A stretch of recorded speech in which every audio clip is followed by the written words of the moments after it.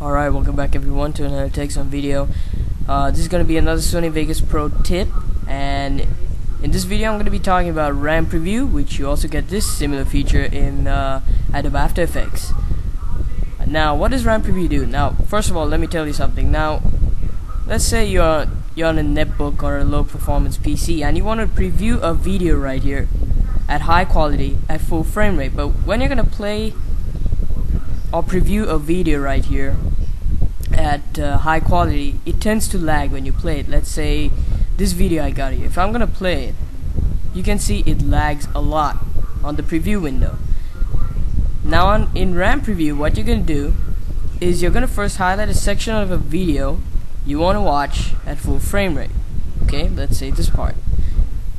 Now when I enable the RAM preview process it's gonna pre-render the frames so that the next time when you play the video it'll play at full frame rate. Now to enable RAM preview hold shift and press B.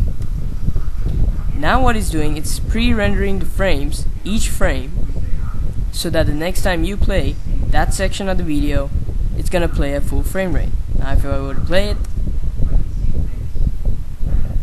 and there you go it plays at full frame rate. Now it's not really playing at full frame rate because I have Camtasia recorded right now but if you try for yourself you can easily preview a uh, video at whatever the quality it is. Preview full even at best full. But note the higher the quality you want to preview at the slower the RAM preview process will be and the more time it will take.